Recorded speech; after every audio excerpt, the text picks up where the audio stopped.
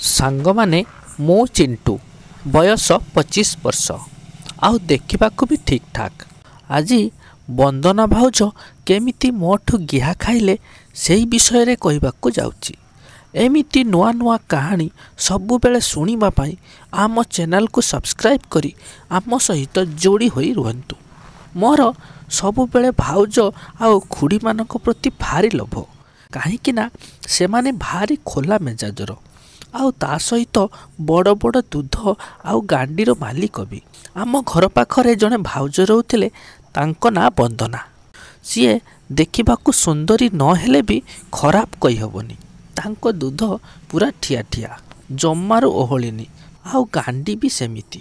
ସିଏ ସବୁବେଳେ ମୋ ସହିତ ଥଟ୍ଟା କରନ୍ତି ଆଉ ମୋତେ ବି ତାଙ୍କ ସହିତ ମଜା କରିବାକୁ ଭାରି ଭଲ ଲାଗେ। ଏଇ ଘଟଣାଟି ଦୁଇହଜାର ଏଗାର ମସିହାର। ସେତେବେଳେ ସମସ୍ତେ ମୋବାଇଲରେ ଗୀତ ଶୁଣୁଥାନ୍ତି। ଆଜିକାଲି ପରି ଇଣ୍ଟରନେଟ୍ ନଥିଲା। ଗୋଟିଏ ଦିନ ଭାଉଜ ଆମ ଘରକୁ ଆସିଥିଲେ। ଆଉ ମୁଁ ଗୀତ ଶୁଣିବା ପାଇଁ ତାଙ୍କୁ ମୋବାଇଲଟା ମାଗିଲି। ଆଉ ସିଏ ବି ମୋତେ ଦେଇଦେଲେ। ମୁଁ ବସି ବସିକି ଗୀତ ଶୁଣୁଥିଲି। ଦେଖିଲି ତାଙ୍କ ମୋବାଇଲରେ ସବୁ ଗିହା ଗିହି ଭିଡ଼ିଓ ବି ଅଛି। ତେଣୁ ମୁଁ ମୋବାଇଲକୁ ନେଇକି ଘର ଛାତ ଉପରକୁ ଚାଲିଗଲି।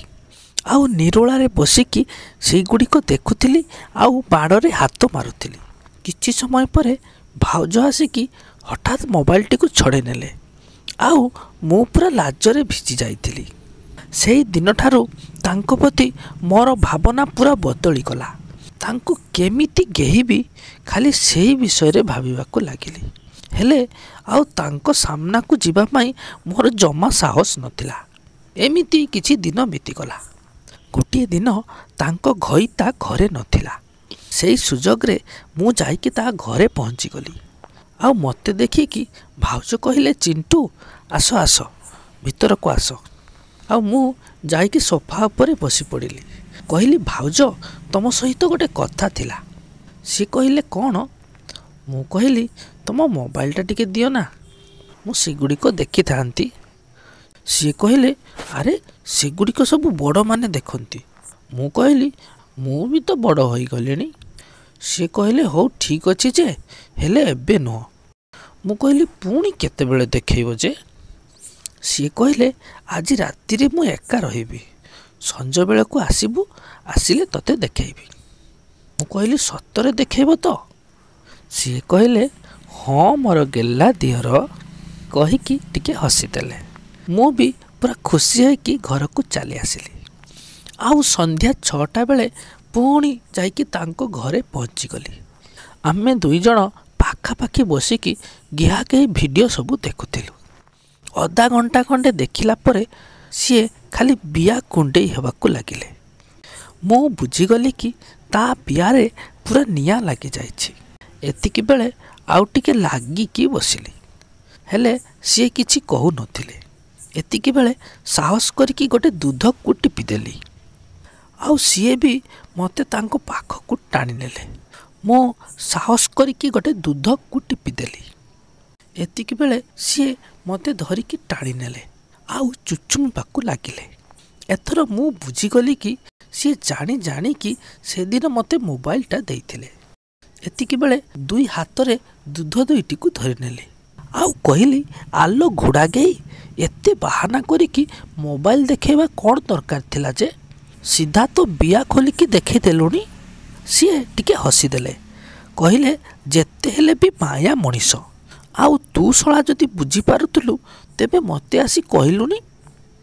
ଏମିତି ଧୀରେ ଧୀରେ ଆମେ ନୁଙ୍ଗୁରା କଥା ହେବାକୁ ଆରମ୍ଭ କରିଦେଲୁ।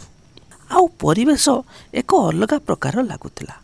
ଏଥର ଛିଡ଼ା କରିଦେଇକି ବିଆ ଆଉ ଦୁଧକୁ ଖୋଲି ବାହାର କରିଦେଲି।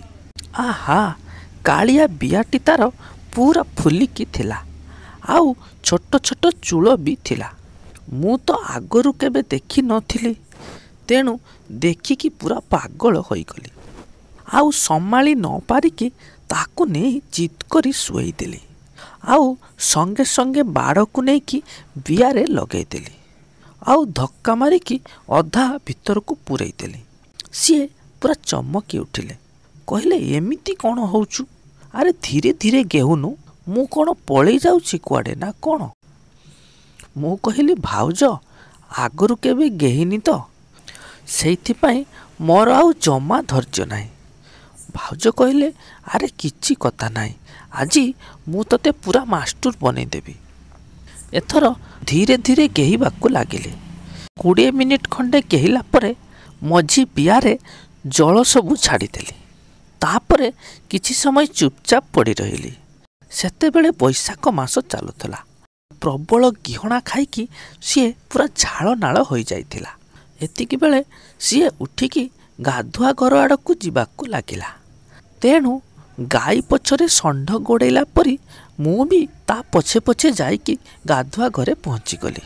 ଆମେ ଦୁଇ ଜଣ ଭିତରେ ପଶିଗଲୁ। ଏତିକି ବେଳେ ସିଏ ସାବାରକୁ ଚାଲୁ କରିଦେଲେ। ଆଉ ଟିପ୍ ଟିପ୍ ପାଣିରେ ଆମେ ଭିଜୁଥିଲୁ।